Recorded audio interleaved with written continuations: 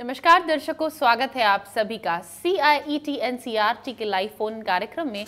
मैं कृति वढेरा जुड़ चुकी हूँ आप सभी के साथ और आप हमें देख रहे हैं पी एम ई विद्या के चैनल नंबर सात पर। ये जो सत्र है, ये कक्षा सातवीं के हिंदी के विद्यार्थियों के लिए रहेगा और जिस पाठ पर आज हम चर्चा करेंगे, वो रहेंगे रहीम के दोहे। और एक बहुत खास मेहमान हमारे साथ स्टूडियो में उपस्थित हैं। मैं परिचय कराना चाहूँगी डॉक्टर नीलकंठ कुमार जी का C I T N C R T में कार्यरत हैं। स्वागत है आपका। नमस्कार कीर्ति जी और सभी दर्शकों का अभिवादन। इससे पहले आज का हम सत्र ये शुरू करें। आज की इस बातचीत से पहले आपको याद दिला दें अगर आपकी कोई जिज्ञासा हो कोई सवाल आप पूछना चाहें तो हमारे टोल फ्री नंबर्स डायल करें। नंबर रहेंगे एक आठ शून्य शून्य एक एक एक दो छः पाँच और दूसरा नंबर रहेगा एक आठ शून्य शून्य एक एक दो एक नौ नौ। इस कार्यक्रम की लाइव स्ट्रीमिंग देखने के लिए हमारे ऑफिशियल यूट्यूब चैनल पर जाएँ एन ऑफिशियल और वहाँ भी लाइव चैट बॉक्स में आप अपने सभी सवाल हमसे साझा कर सकते हैं। हम पूरा प्रयास करेंगे कि कार्यक्रम की अंतिम घड़ी में आपके भेजे गए सभी प्रश्न लें और हमारे एक्सपर्ट उनका जवाब दें। और ईमेल के ज़रिए भी आप हमें संपर्क कर सकते हैं। मेल करें D T H dot class seventh at the rate C I E T dot N I C dot in पर। तो चलिए शुरू करते हैं आज की इस बातचीत को जिसमें हम रहीम के दोहे पढ़ने वाले हैं। एक बार पुनः स्वागत करूँगी आपका डॉक्टर नीलकंठ जी। आ, दोहे तो अक्सर छठी सातवीं कक्षा से हम अपने विद्यार्थियों को पढ़ाने शुरू कर देते हैं। पर मुझे लगता है क्योंकि अब कक्षा सातवीं के विद्यार्थी हैं तो यहाँ पर लेखक के बारे में भी थोड़ा जानना ज़रूरी है। तो मैं चाहूँगी इससे पहले आप दोहों तक जाएँ या उनके अनुवाद तक जाएँ थोड़ा सा रहीम जी के बारे में ही हमारे दर्शकों से साझा करें कुछ। धन्यवाद कीर्ति जी। आ, किसी भी कविता को पढ़ने और समझने के लिए आवश्यक है कि आप कवि के बारे में भी थोड़ी बहुत जानकारी प्राप्त करें। चाहे तो आप कविता का पाठ पहले कर सकते हैं चाहे अगर आपकी विशेष रुचि हो तो कवि के बारे में भी पहले जानकारी प्राप्त कर सकते हैं। दोनों तरीका विद्यालयों में अपनाया जा रहा है और अपनाया जाता है।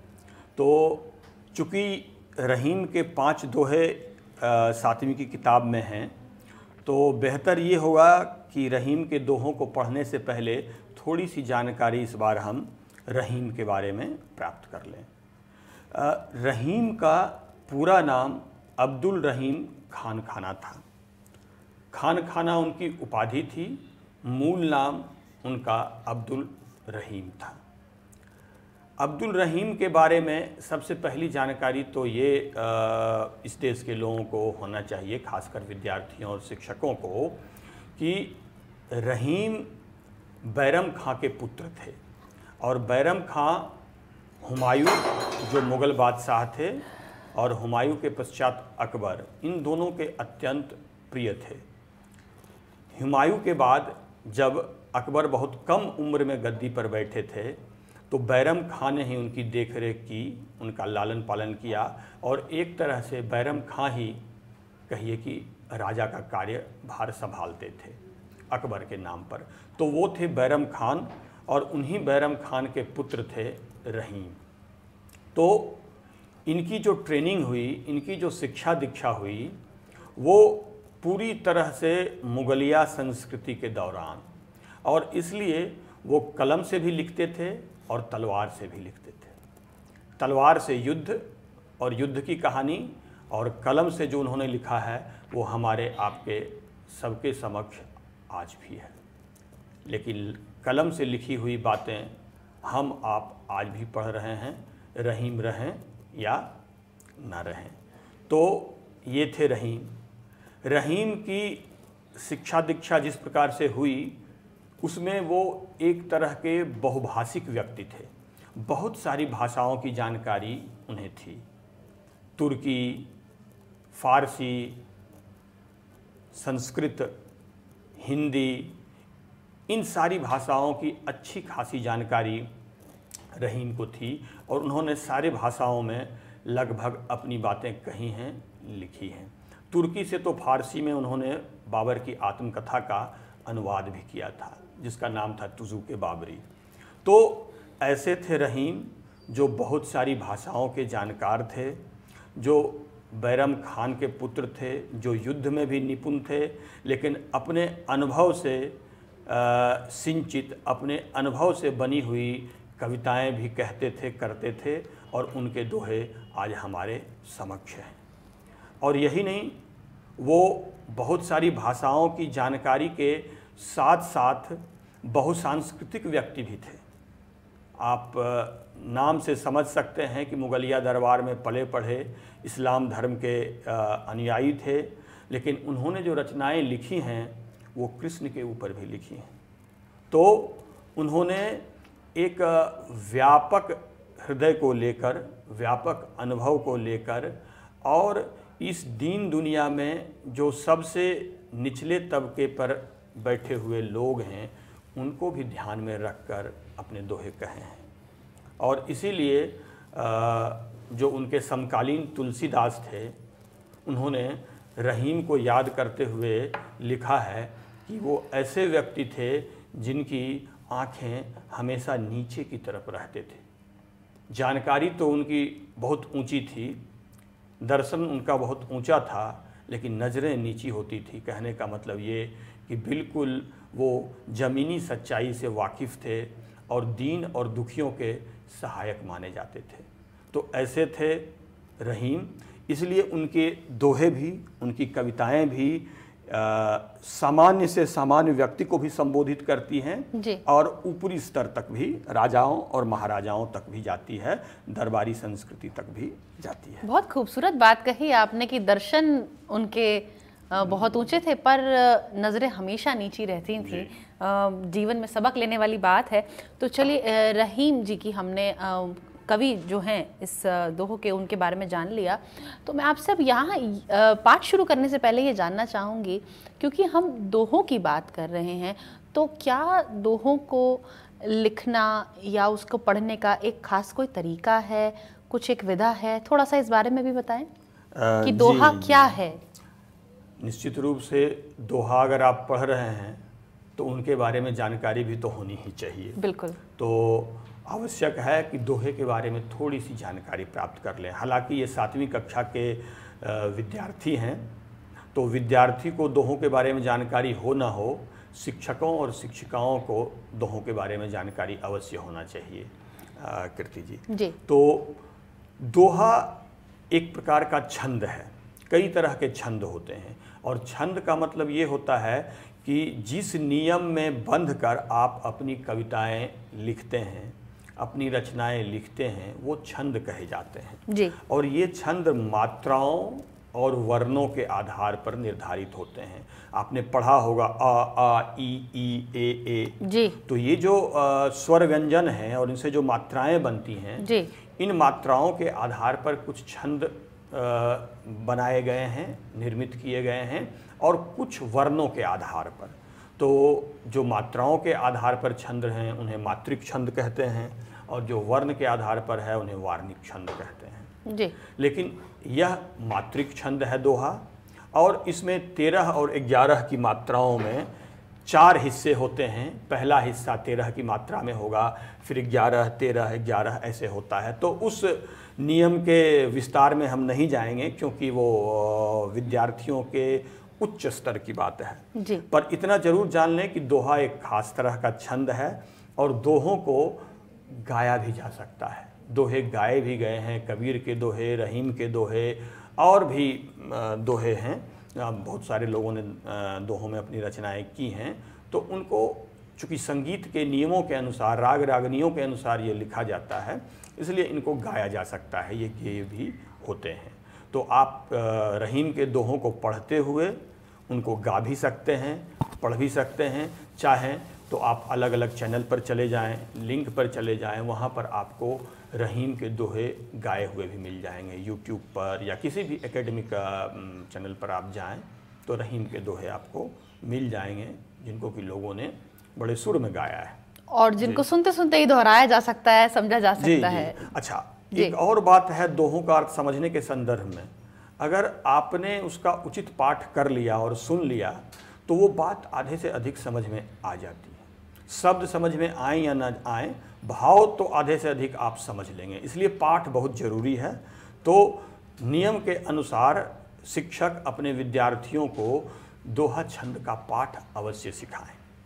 अगर वो नहीं बताते हैं तो उन्हें यह अवश्य कहें कि आप एन की साइट पर जाकर या यूट्यूब पर जाकर या किसी भी एकेडमिक साइट पर जाकर एक बार दोहों का पाठ अवश्य सुने और उसी तरह से दोहों का पाठ करना प्रारंभ करें हम्म, जी। जी तो अब हमने जान लिया है कि रहीम जो कवि हैं वो कौन थे इस पाठ में और दोहों के बारे में भी जान लिया तो अब लगता है पाठ की ओर बढ़ना चाहिए डॉक्टर नीलकंठ जी और अब दोहे पढ़ने चाहिए हमें। जी जी। हमारा मूल उद्देश्य तो यही है कि इन दोहों में रहीम ने जिन अनुभवों का बड़े संक्षेप में और सारगर्भित रूप से वर्णन किया है, उनका अर्थ आप सबके समक्ष आए और उस अर्थ का विस्तार भी आपके समक्ष आए। तो आवश्यक है कि हम इसको पढ़ें।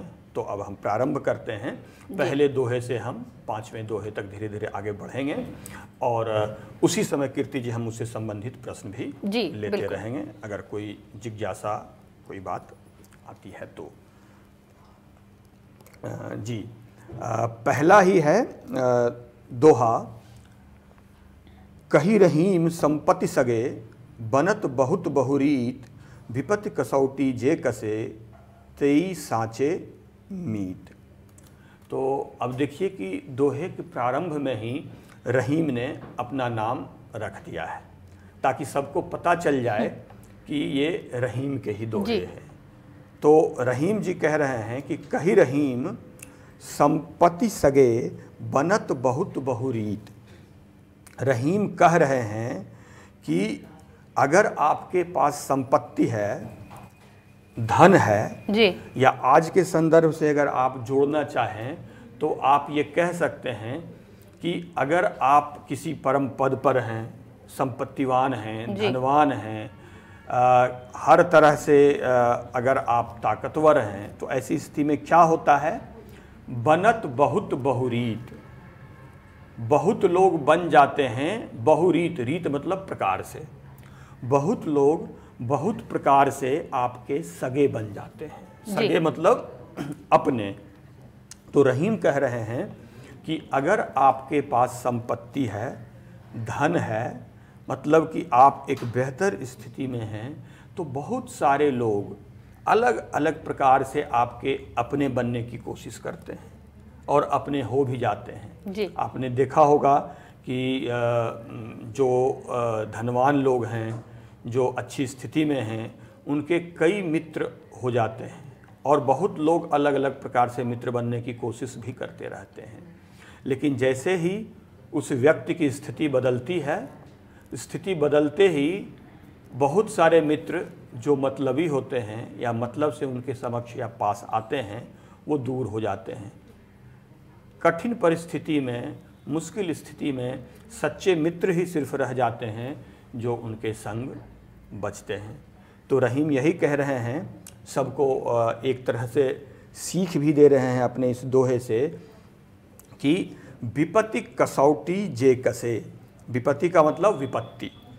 अब देखिए ये चूँकि ब्रज भाषा में है तो देशज शब्दों का उपयोग आपको यहाँ पर विपत्ति दिखाई पड़ रहा है। हिंदी में अगर आप इसको लिखेंगे तो ये शब्द क्या होगा? विपत्ति। विपत्ति हो जाएगा। लेकिन ये विपत्ति है। विपत्ति है।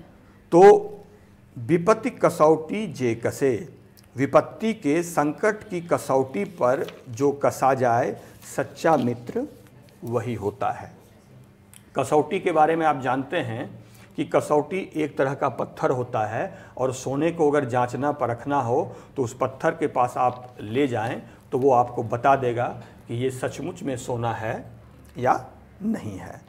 तो रहीम कह रहे हैं कि विपत्ति की कसौटी पर जब कोई कसा जाए। कहने का मतलब विपत्ति की स्थिति में जो आपके साथ रहे वही सच्चा मित्र होता है। कहने का मतलब संकट की घड़ी दुख की स्थिति कसौटी की तरह है जिस पर कस कर ही सच्चे मित्र का पता लगता है। अब हम इस दोहे का अर्थ और अर्थ विस्तार कर चुके हैं। जी। विद्यार्थी चाहें तो अपने जीवन से, अपने मित्रों से, अपने घर परिवार से जोड़कर इस अनुभव को विस्तार दे सकते हैं। उनके जीवन में भी कभी न कभी ये अनुभव अवश्य आया होगा। तो आप अपने अपने जीवन से इसको अवश्य जोड़ें और अर्थ को और भी विस्तार दें। अब हम अगले दोहे की तरफ़ बढ़ते हैं। अगला दोहा है, जाल परे जल जात बही तजी मीनन को मोह रहीमन मछरी नीर को तऊ न छाड़ित छो। अब मित्रता का, प्रेम का, स्नेह का एक और उदाहरण, एक और उदाहरण रहीम दे रहे हैं। वो कहते हैं कि जाल परे जल जात बही। मछली पकड़ने के लिए मछुआरा जब जाल डालता है तो जाल डालते ही पानी बाहर आ जाता है और मछली जाल के अंदर। तो रहीम कह रहे हैं कि पानी और मछली, इन दोनों का प्रेम अलग अलग प्रकार का है। अब देखिए कि जैसे ही मछली जाल में बाहर निकलती है, पानी तुरंत वापस अपने स्थिति में चला जाता है, नदी में। कहने का मतलब वो तुरंत मछली को त्याग देता है। लेकिन मछली ऐसी है कि पानी के उस प्रेम में, स्नेह में, लगाव में अपने प्राण त्याग देती है, लेकिन उससे अपनी मित्रता को नहीं छोड़ती है। तो मछली का प्रेम अलग प्रकार का है और जल का प्रेम अलग प्रकार का है। तो जल के प्रेम को एक तरह से आदमी के लिए उदाहरण के रूप में लिया गया है कि आप जब संकट की स्थिति में फंसते हैं तो जो जल की तरह लोग होते हैं वो तुरंत निकल जाते हैं। लेकिन जो सच्चे मित्र होते हैं जो सचमुच आपसे प्रेम करते हैं और स्नेह करते हैं वो जाल की स्थिति में होने पर भी आपके लिए अपना प्रेम नहीं त्यागते हैं। यही उनका स्वभाव होता है। जी। अच्छे व्यक्ति का यह स्वभाव है कि परिस्थिति कितनी भी कठिन हो वह आपका साथ नहीं छोड़ेगा। और कुछ लोग जल की तरह होते हैं, जो तुरंत कठिन परिस्थिति को देखते ही वहाँ से बाहर हो जाते हैं, निकल जाते हैं, आपका साथ छोड़ देते हैं। अब अगले दोहे की तरफ़ हम आगे बढ़ते हैं। तरवर फल नहीं खात है, सरवर पियत न पान, कही रहीम पर काज हित, संपत्ति सचहि सुजान। अब ये पेड़ के बारे में कहा जा रहा है। रहीम उदाहरणों के माध्यम से अपनी बात कहते हैं। कह रहे हैं कि जो पेड़ है, या पेड़ के साथ साथ उन्होंने एक दो और उदाहरण भी दिए हैं कि तरवर फल नहीं खात है, सरवर पियत न पान। पेड़ फल लगाता है, लेकिन उस फल को वो खुद कभी नहीं खाता है। इसी प्रकार सरोवर, तालाब पानी को कभी खुद नहीं पीता, दूसरों के लिए ही वो संचित करता है। कही रहीम पर काज हित, संपत्ति सच ही सुजान। अब रहीम कह रहे हैं कि जो अच्छे लोग होते हैं, जो सज्जन लोग होते हैं, वो दूसरों के हित में ही सारी संपत्ति का अर्जन करते हैं। तो जो सज्जन लोग हैं वो तरवर के समान पेड़ के समान होते हैं तालाब के समान होते हैं जो अपने लिए कुछ भी संचित नहीं करते हैं। जैसे पेड़ फल नहीं खाता जैसे तालाब खुद अपना पानी नहीं ग्रहण करती। उसी तरह से आ, सज्जन व्यक्ति भी अपने द्वारा संचित सुकर्मों को, धन को या और भी अनेक चीज़ों को दूसरों के लिए ही संचित करते हैं, दूसरों के लिए ही जमा करते हैं, वो कभी खुद ही उनका उपभोग नहीं करते। अब अगला दोहा है जिसकी ओर हम आगे बढ़ते हैं। दोहा है, थोथे बादर क्वार के जौ रहीम घहरात धनी पुरुष निर्धन भय करे पाछली बात। रहीम कह रहे हैं कि जो क्वार के मौसम में मतलब बारिश के बाद जो आश्विन और कार्तिक का मौसम आता है जी। आपने देखा होगा जी।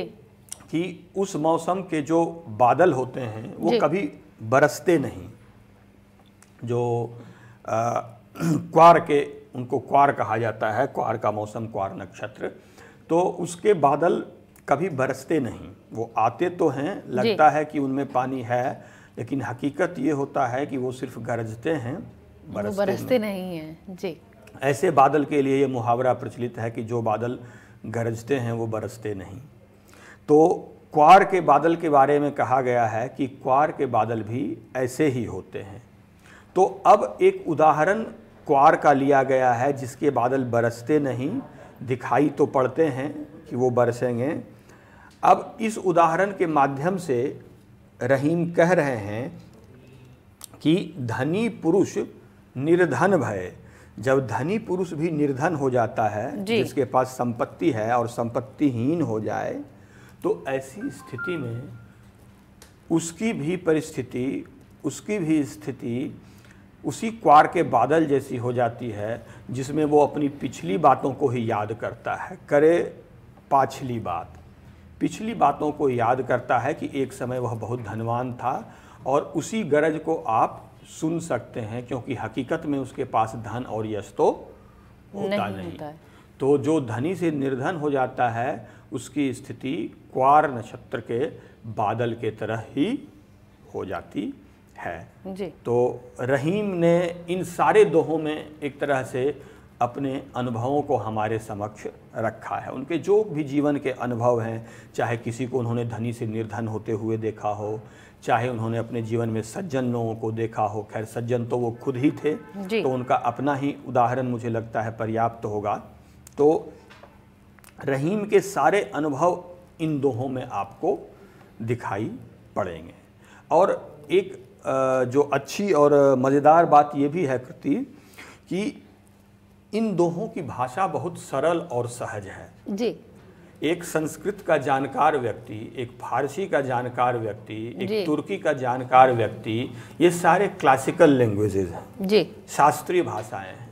तो इतनी अच्छी जानकारी भाषाओं की रखने वाला व्यक्ति बिल्कुल सहज और सामान्य लोगों की भाषा में बात करे देशज भाषा में बात करें ये बहुत रोचक है। जी बिल्कुल। इसका कारण ये है कि उनके कंसर्न उनकी संवेदना उनकी भावनाएँ दीन दुखियों से या ऐसे अन्य लोगों से जुड़ी हुई थी। शायद इसीलिए वो आ, आ, ऐसे दोहे लिखने और इस तरह के अनुभव हमारे सामने लाने में सक्षम हो पाए। और मैं तो कहूँगा कि इन दोहों की प्रासंगिकता आज भी है। अगर आप इन दोहों को देखें तो आज भी विद्यार्थी शिक्षक या कोई भी अपने जीवन से इनको जोड़कर देख सकता है और समझ सकता है। जी। आज भी जो सज्जन व्यक्ति है वो धन और संपत्ति इन चीज़ों को अपने लिए नहीं रखता। ऐसे तमाम उदाहरण आपको इस देश में मिल जाएँगे और ऐसे उदाहरण भी आपको मिल जाएँगे जहाँ लोग अपने अलावा और किसी के बारे में सोचते ही नहीं। जी। तो तो ये दोनों उदाहरण हमारे समक्ष हैं हम तो इसका मतलब है ये भले ही तब उस काल में लिखे गए पर आज भी हम अपने आज के जीवन के संदर्भ में इसको जोड़कर बिल्कुल देखा बल्कि आज के लिए भी ये दोहे उतने ही प्रासंगिक हैं। मैं तो कहूँगा कि अब जब लोग ज़्यादा मतलबी होते जा रहे हैं और ज़्यादा व्यक्तिगत होते जा रहे हैं अपने ऊपर उनका ज़्यादा ध्यान है ऐसे में इन दोहों की महत्ता और बढ़ गई है। और कम से कम हमारे जो किशोर बच्चे हैं कम उम्र के बच्चे हैं जो अभी सीख सकते हैं उनको तो ये बातें ज़रूर सिखानी चाहिए और बतानी चाहिए चाहे रहीम के दोहे हों चाहे कबीर के दोहे हों। वो पढ़कर समझते हैं। एक तो अपने ट्रेडिशन को भी अपनी संस्कृति और परंपरा को भी समझते हैं। और दूसरी बात उस समय की जानकारी के हिसाब से आज की बात को भी बेहतर तरीके से समझते हैं। जी अब एक और दोहा है हम उन उसे पढ़ लेते हैं और फिर उस दोहे के पश्चात हम दूसरे प्रश्न कुछ भाषा की बात भी करेंगे। जी।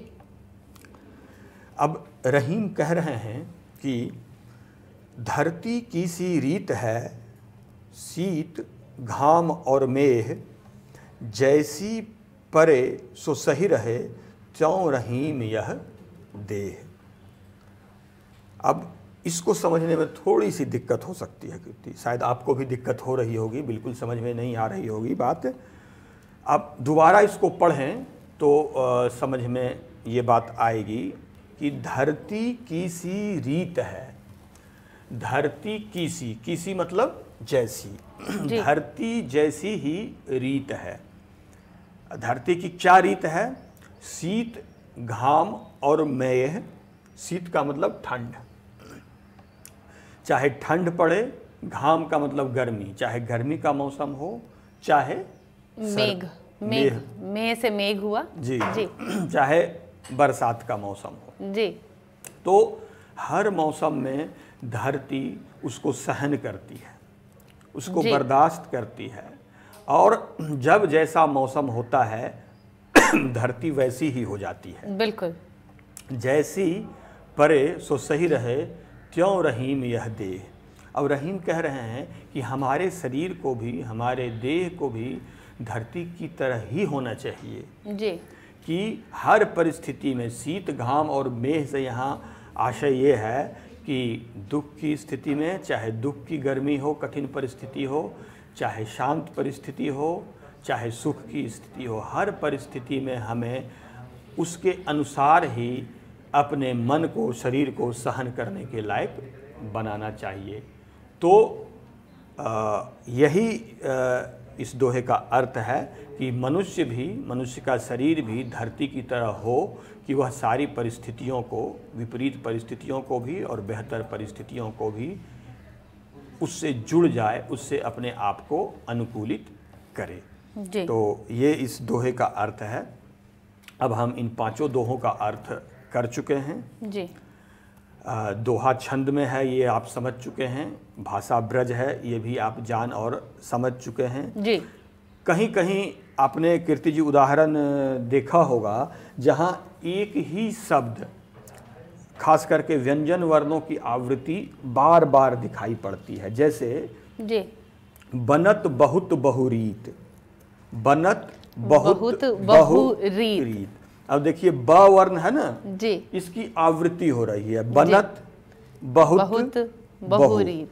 अब ये अ, ऐसे जब किसी एक व्यंजन वर्ण की आवृत्ति बार बार होती है तो भाषा का ये खास प्रयोग है। जी। आपने आजकल के चैनलों को भी देखा होगा कि ऐसे ही एक रिदम वाले शब्दों को देकर स्टोरी बनाते हैं। जी। रिदम क्रिएट करने के लिए लय बनाने के लिए। और भाषा की दुनिया में अलंकार की दुनिया में इसे हम अनुप्रास अलंकार कहते हैं। जी। बनत बहुत बहु रीत। या एक और उदाहरण है जाल परे जल जात बही। अब देखिए जल जात जल जात ज वर्ण की आवृत्ति हो रही है लगातार। जी। तो यहाँ पर भी भाषा का उसी तरह का प्रयोग आपको दिखाई पड़ेगा। तो रहीम के दोहों में आपको उदाहरण दिखाई पड़ेंगे कि उदाहरण के साथ जीवन के जो भोगे हुए सत्य हैं उनकी पुष्टि की गई है। तो एक तरह से यह जीवन सत्य है उनका अपना अनुभव भी है। तो ये हैं रहीम के दोहे और रहीम। अब अगर कोई हमारे पास प्रश्न हो सवाल हो और कोई क्वेरी हम तो बिल्कुल अंतिम घड़ी में आ चुके हैं इस कार्यक्रम की। मैं चाहूँगी अब क्योंकि कोरोना महामारी के काल में ऑनलाइन एजुकेशन तो हमारे सभी विद्यार्थियों ने देख ली पर अब क्योंकि परीक्षा का समय नज़दीक है तो परीक्षा की दृष्टि से दोहों के अनुवाद को कैसे पढ़ना है या कैसे समझना है थोड़ा सा बता दीजिए। देखिए परीक्षा की दृष्टि से तो मैं बताना पसंद नहीं करता क्योंकि मेरा मानना है कि जो भी कार्य होना है वो परीक्षा के पहले होना है। जी। परीक्षा के दौरान कुछ नहीं हो सकता है और परीक्षा के लिए जो किया गया कार्य है अ, वो परीक्षा के बाद खत्म भी हो जाता है। नहीं तो- पर ये दोहे तो आ, जैसे हमारे आज के जीवन के लिए भी बिल्कुल प्रासंगिक तो हैं। मेरा ज़ोर समझ पर रहता है। आप किसी चीज़ को ऐसे समझें कि परीक्षा हो या परीक्षा ना हो दोनों स्थिति में आप अ, उसका उत्तर कर सकें। आपकी समझ होनी चाहिए कि ऐसे और भी दोहे जब आपके समक्ष आएँ। तो आप उनको तुरंत अ, देखकर उसका अर्थ कर लें। अब परीक्षा की दृष्टि से करना हो तो आप पहले यह करें कि ये ब्रज भाषा में है। जी। अब आप खड़ी बोली हिंदी में मैं और आप जब बात कर रहे हैं तो खड़ी बोली हिंदी में बात कर रहे हैं। तो इसी भाषा में आप इसको लिखिए। सबसे बेहतर तरीका ये है कि आप ब्रज भाषा में लिखी गई लिखे गए इन दोहों को हिंदी में लिख डालिए। कोशिश कीजिए कि हिंदी में अनुवाद करें ना कर करें। सकें तो आप उसको लिख डालें हिंदी करके। तो आपके समझ में जैसे विपत्ति है आप इसको हिंदी में इसके लिए शब्द लिखें विपत्ति। विपत्ति। है ना? ऐसे ही जितने और शब्द हैं वो भी आप उदाहरण के लिए ले सकते हैं। जैसे उदाहरण के लिए बादर। एक शब्द है बादर। बादर के लिए हिंदी में शब्द है बादल। तो आप बादर की जगह बादल लिख दीजिए। तो जैसे ही आप ये कार्य करेंगे तो हिंदी और ब्रज के संबंध को आप समझ लेंगे। आप परीक्षा हो या परीक्षा ना हो ये बात हमेशा आपको याद रहेगी और आप उसका अर्थ और आखिरी दोहे में जैसे हमने बहुत से ऐसे ब्रज भाषा के शब्द पढ़े जिसमें सीत लिखा था घाम लिखा था मेह लिखा था तो जी, अनुवाद आपने बताया भी तो उन सभी को हिंदी में अनुवाद करके जब लिखेंगे विद्यार्थी हाँ। इससे भाषा के सौंदर्य के बारे में भी भाषा के बारे में भी जानकारी बढ़ेगी। जी। और शब्दों का जो स्टॉक आप कहते हैं शब्द संचय धन के रूप में आपके पास बहुत सारे शब्द आने लगेंगे। चाहे वो संस्कृत से हिंदी में करें अवधि से हिंदी में करें या ब्रज से हिंदी में करें। बिल्कुल। तो आप शीत को शीत लिखिए घाम के लिए शब्द खोजिए इसी तरह से मेघ के लिए मेघ शब्द है। तो आप एक तरह से भाषा खेल खेलिए और भाषा का खेल खेलते खेलते दोहों का अर्थ भी सीखिए और परीक्षा भी दे दीजिए। जी बिल्कुल परीक्षा भी दे दीजिए। और बहुत सी बारीकियाँ आपने बातों बातों में बता दी आज हमारे सातवीं कक्षा के विद्यार्थियों को डॉक्टर नीलकंठ आप समय समय पे हमसे जुड़ते हैं और इतनी महत्वपूर्ण जानकारियाँ भी आज आपने साझा की इस पाठ के बारे में। आज हमसे जुड़ने के लिए आपका बहुत बहुत धन्यवाद। आभार। आपका भी धन्यवाद और सभी दर्शकों के प्रति आभार। और आप दर्शकों, कहीं ना जाएँ, हमारे साथ यूँ ही बने रहें। अगला सत्र जो है, वो कक्षा सातवीं के लिए ही रहेगा। स्वास्थ्य में सरकार की भूमिका पर चर्चा करेंगे। कहीं ना जाएँ, हमारे साथ बने रहें लौट कर आ रहे हैं एक छोटे से अंतराल के बाद।